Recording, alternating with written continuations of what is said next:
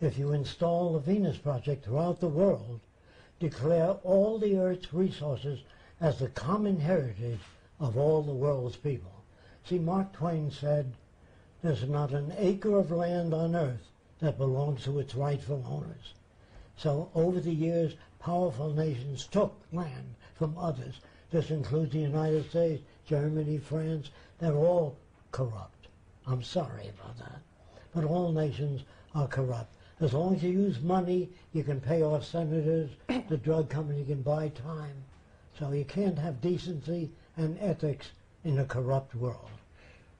But are you talking about a utopia? No, there's no such thing. The reason there is no such thing as utopia is because if you design the best building you know how to design, that's the best you know up to now. With advances in new material, the city will keep changing. There's no best laptop. Next year it'll be smaller, lighter, wider range.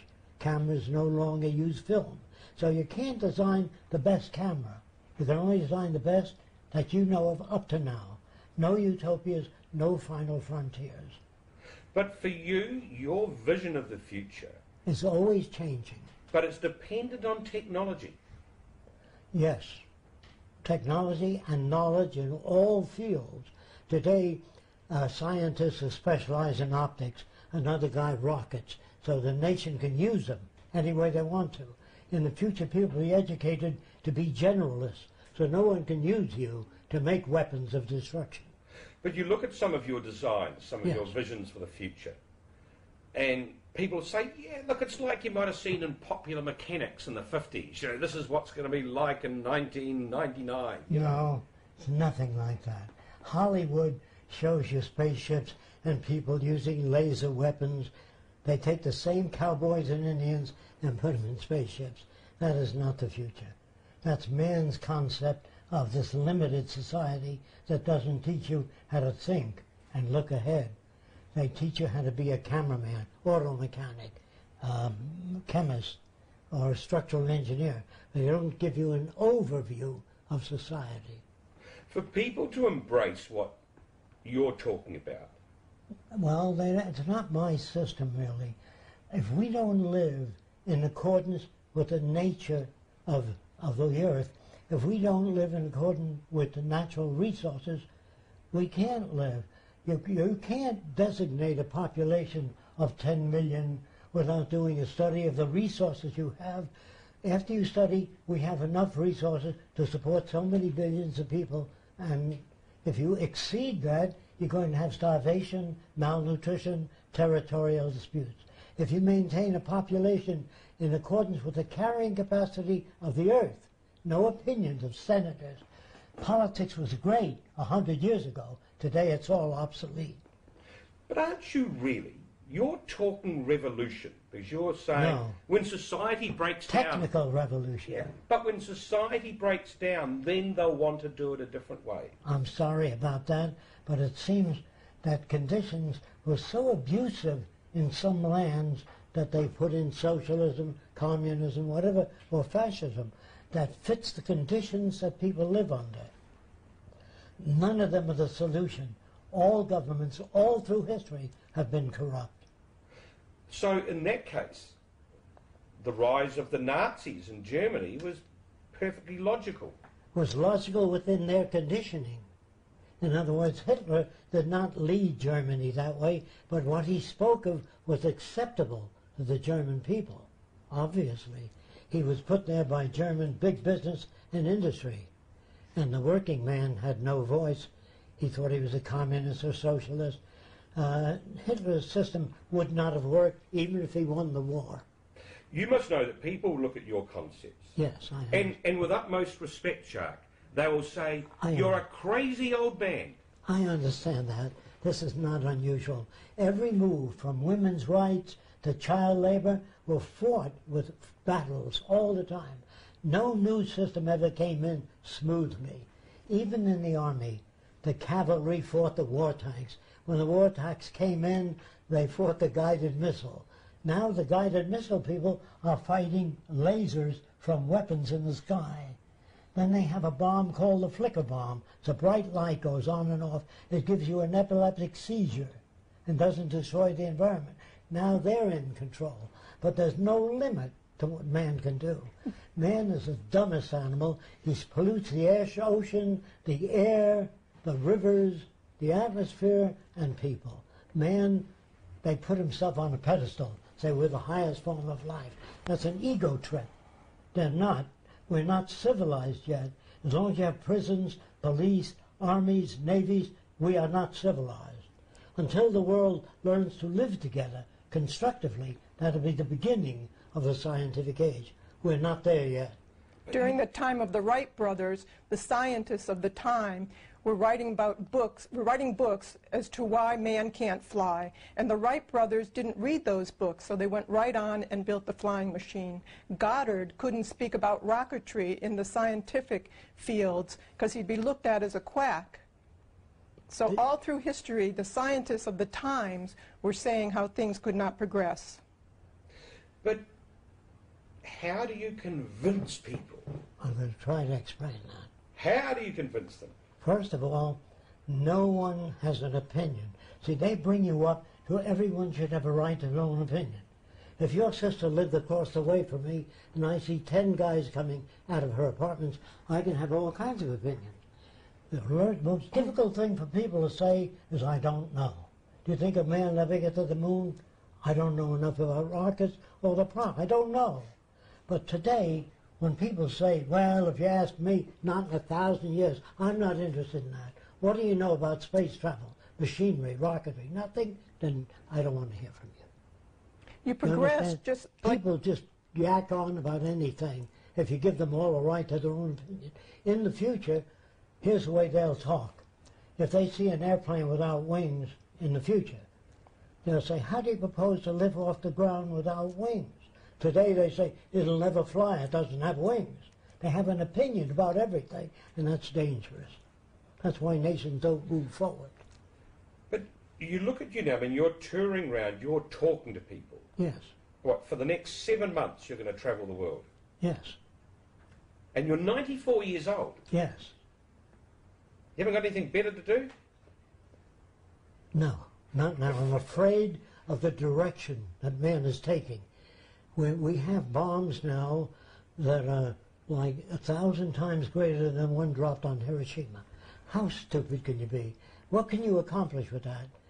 The United States has 300 submarines, and according to the Navy, each one has more destructive power than all the wars in history. What are you going to accomplish with that? A burnt out radioactive planet? You won the war? What do you win? It's much easier to bring the nations of the world together, not kill those that don't agree with you. Bring them together. If I took every soldier, I would educate them to be problem solvers, not killing machines. If they draft you to serve, to put up your life for your country, they should conscript all the war industries so no one makes a buck out of war. Then it's real. You don't have that. What can one man do, though? Talk to other people. If you like what the Venus Project stands for, talk to others. If you do nothing, nothing will happen. I can assure you that. I have no power. Roxanne has no power. It's merely a presentation of a world without war, hunger, poverty, or job loss. It's always been one person who's come up with new ideas, and when other people hear about it, then they work towards it and, and do what they can to make it happen. But it's usually one person that's come up with different ideas. Do you, do you see him as a genius? Well, no, I see him who would, as somebody who's gone through certain things during his lifetime and arrived at different conclusions. His background was very different. He, he was he worked in technology. He was a futurist, but most technology, most futurists don't talk about the future in terms of technology. They have wishes and aspirations and hopes and dreams. He can build these things technically. He's worked with drug addicts, alcoholics, changed them. He even joined the Klan. He wanted to see if he could What put his ideas to test. He joined the Ku Klux Klan in the United States and changed them within a month and a half. Then joined the White Citizens Council and changed them. It's not just coming out of his head saying, I would like a different world. He worked at it and worked at people to change them. You joined the Klan. Ku Klux Klan. Years ago, uh, there was about 32 members.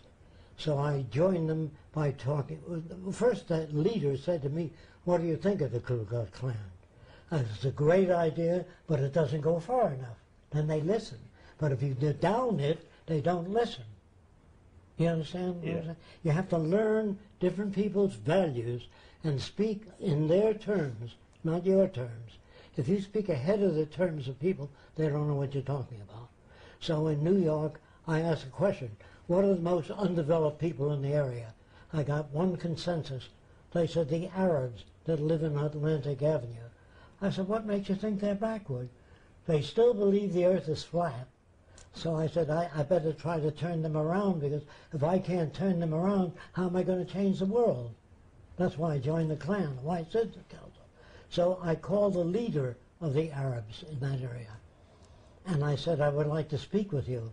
He said, you are Arab? That's all he can say. I said, yes, I'm not Arab. So he said, where your father he born? I said, Lebanon. He said, very good, come and saw me. Means come and see me. So I came to see him. And I said, do, you believe the world's round? He said, no. So he said to me, do you believe? I said, no. He, that means it can't be. Then he pointed to his head. He says, if the world he round, man fall me down. All the water he fall me down. Kept doing that. So I said, boy, I've got to get to this guy. So I gave him a balloon, which I brought with me, and I rubbed it with fur. I put cornflakes in his hand and told him to hold his hand away from the balloon. You know what happens if you rub them? All the cornflakes go up to the balloon. And his jaw hit the pavement. He said, world he magnet air. Ah! And he explained that to all the other Arabs. Took an hour and a half to turn him around by demonstration. But if you use language, scientific centrifugal force, geomagnetic fields, they don't know what the heck they're talking about. Did you turn around the Klan though? Oh, yes. You want me to tell you how? Yeah. Okay. It was a longer process. What I did is I spoke to the leader only, took him to my lab, showed him a lot of interesting things, and he said in his southern accent, will you come on down to Klan meeting and, talk to our boys? I said, they wouldn't listen to me, Lou. He said, I'll get him to listen to you, because what you say makes sense. I showed him a lot of things he never knew existed. So he silenced them, and I spoke to them a little bit. Then I said, Lou, you can look at a person, tell us all about him. How do you do that? He said, well, I didn't think I can teach you anything. I said, well, if you can do that, tell me how it's done. So I brought some pictures down to the Klan meeting and projected them on the wall. And Lou said, he looks like a good man, a God-fearing man, uh, American veteran, projecting his own values. On the end of the picture, I pulled out the bottom. It says, wanted by the FBI for subversive action against the United States. When he used to speak, he just said anything, and the others, not knowing anything, shook their head. This is the first time what he said didn't make sense. So his group started to laugh at him. So I said to the guys, shut your mouth, because Lou knows more about people than we do. I had to defend him till the next film. The next film is a record of a man talking in an Oxford accent about aviation. He says, I see a skinny Englishman with a bald head and eyeglasses. He's projecting his own values. Now then, ten minutes later, the image comes on. It's a black guy raised in England. She got a damn nigger talking like an Englishman. This is Lou's reaction, not my words. And I said, Lou, that guy was raised in a different environment. If you took a black man and raised him in France, he'd speak like a Frenchman if he was a baby. If you raise him in Germany, he'd speak with a German accent. He says, you mean to say that a black man speaks that way because he's raised? Yes. I said, Lou, if I took your kid and raised it in a Jewish family, he'd be a nice Jewish boy. In a Nazi family, a nice Nazi. People are not taught how to think, they reflect their culture. Proof that in Italy you talk with your hands. Mangiate d'americano. Say, you say, come on, they eat, there's good food. That's not you, that's the environment impinging upon you. We don't teach children how to think. So it's nurture versus nature, the great Yeah. debate. Nature. Uh, environment shapes values, facial expressions. If you were brought up in the deep south, you'll speak with a southern accent. And if all you hear is the damn niggers are lazy, they don't do it, if that's all you hear, that's what you reflect. So you might say, I'm going to give me a nigger and I'm going to kick his ass. Is that you or a reflection of your culture? Think about it. So if I, was, if I was a serial killer, Oh, here's what makes a serial killer. There was a guy named, in the early days, this guy, they believed, ate 45 children. The public wanted to tear him to pieces because the public looks at him as free will. I look at it as indoctrination. Now, what kind of indoctrination makes a serial killer? So a psychiatrist named Wertham wrote a book called Show of Violence. Most people never read it. Essentially, here's the guts of it when he was about eight years old, he was touching his private parts. And his mother was an old-time Baptist. She said, you're going to burn in hell touching my body, body. You will burn eternally. She scared the hell out of the kid. And that evening, the mother said he stuck needles into his genitals. He didn't want to go to hell. Can you understand that? So he used to go into the woods with minority children and try to cut their genitals off to save them from hell. What do you think a soldier is? A guy that shown motion pictures of a Japanese guy raping an American woman pregnant. And so the enlistment goes up. So people are taught to hate. Before the war, remember, it was pretty parasolan fan in far off Japan. Now, slanty-eyed bastards. The Germans are not people, they're krauts. All nations are corrupt. They all teach their people to hatred, hatred and to be patriotic. Einstein said patriotism is a disease. You're it not- separates people. You're not born with bigotry, prejudice, anger, or envy. You, it's nurtured. You experience that through your environment. If you approached a headhunter in the Amazon and said, oh my God, don't you feel terrible? You have 10 shrunken heads. He may say, yes, my brother has 20. Is he bad? No. so how, if we know what is, I mean, we can look at all the influences on society that are negative. They don't know how to do that today. And we come to what we look at this vision that you have. How again? How do we get there? Because a lot of people have no vested interest I know. in abandoning the way things are done. We want to make a major motion picture showing how we get from here to there. It's not going to be smooth. It's going to have a lot of problems, a lot of assassinations. This is normal to that much of a change. If you want to bring, but if you want to try to patch up the old system, it'll take many years and many wars. We don't have the time. If all nations are building nuclear weapons now because they don't trust each other. Now, Is your life in danger? What's that? If you come up with something that's so My life is always in danger. It's always been in danger. I developed the first flying wing aircraft. I had nothing but trouble. I worked on long hours of children working in factories and tried to stop that. I'm 94 now. I do all I can do rather than fear death. I don't fear death. I fear where man is going. The hell they can produce is unbelievable because of human, not really human stupidity. They're not educated in our schools. Our universities are better equipped than ever, and the wars are getting worse. So how can we be sane if the weapons are getting worse?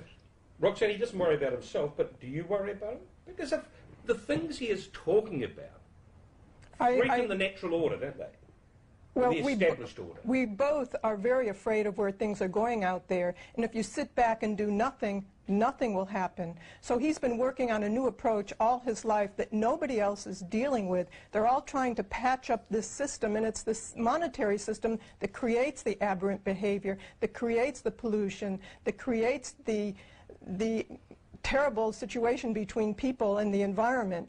So if we if we sit back and do nothing, this will continue to go right down to, to the ground. And what it takes is introducing these new ideas. People think of, of it in terms of socialism, communism, free enterprise system, or fascism. Nothing has been introduced. So we want to show it in film to show people really just what type of future they can have if they work together and create and make all the, the um, natural resources as the common heritage of all the Earth's people. This is the only way we'll go beyond what we're doing today. Otherwise, there'll be more and more suffering if we don't use the scientific method applied to the way we live. You will never stop, will you? You will never stop. The, the, uh, the language we use today was designed hundreds of years ago. That makes it impossible to talk to one another. When you read the Bible, it's subject to interpretation. people say Jesus meant this. No, he meant that. So you got the Lutheran, Seventh Day and the Catholic. So we need a language that's not subject to interpretation. Mathematics, chemistry, when chemists talk to each other, it's not, I think you mean this. When structural engineers build a bridge, they talk to each other and they understand exactly. We need that in the common language. Otherwise, all when you talk to a person, I don't care if it's your wife or children, it goes through their head, comes out different as they think you mean it. That's the danger of the world today. So people say to you, have a nice weekend. Why don't they say, have a nice life? Why just a weekend? Because that's a normal. See, they don't know what they're talking about, most people. Now, how do I get up and turn them around? By identifying with their values and gradually, as fast as I can, I'll take them into the new world. You're sneaky. See, here's where people get mad at me. They say, you want to give people things for nothing. I said, if you're born in America and England and France, you got the airplane, the automobile, the telephone, the electric light. You didn't work on any of that. You got it for nothing. Does it hurt you? No. There's nothing wrong with having people access whatever they need without money. We can turn out volumes of goods today with automation and make it available to everybody. That's the end of most crime. Most crime. Could you ever see yourself stopping? Stopping thinking, stopping advocating? Well, a brain disease uh, or aging maybe might have a stroke and not be able to do it. That's possible in this world. But in the future I talk about, everyone is cared for, from babies to old age, and no one is in authority. We don't tell people how to live. All the machines do is make goods available, transport it. They do not control people. And that's possible? Yes. It was possible in 1927. At the beginning of automation and fabrication. But we're terrified of the machines taking over. That's because they take your job away. See, in the future, when a new machine comes in, we call the help and say, you used to work eight hours a day, now it's four. You used to have a week, two weeks vacation a year, now it's six weeks to be with your family and all. So machines are no longer used to aggrandize the powerful. They can't lay you off. The machines are now operated for the benefit of all humanity. There's no more separate nations with artificial boundaries. If single nations control most of the resources, there's going to be trouble. Has to be, continuously.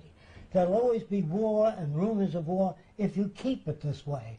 It's only when the earth is declared the common heritage of all the world's people that's the end of territorial invasion. If you don't understand that, I'm sorry, I give you all the examples you want. I know what makes those trouble. Some people do is say, well, what can I do? Do what you can. If you do nothing, nothing will happen. Everybody that brought liberation to women's rights, black rights, Polish rights, it is that isn't what you want. All people need the same thing, free access to the necessities of life. Otherwise they suffer. Now what's so difficult about that? It's the movies that make people fearful of technology. It, they really project the free enterprise system into the future, and all these robots and technology are working against people. Well, that's what they do today.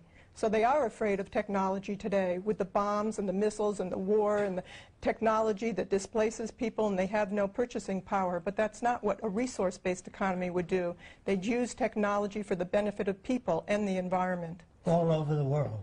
Finally, how achievable is this? If if everything Uh, okay. went according to plan, According to Peter Joseph, who started the Zeitgeist movement, he told me two months ago that 50 million people now know about the Venus Project and are all working toward it.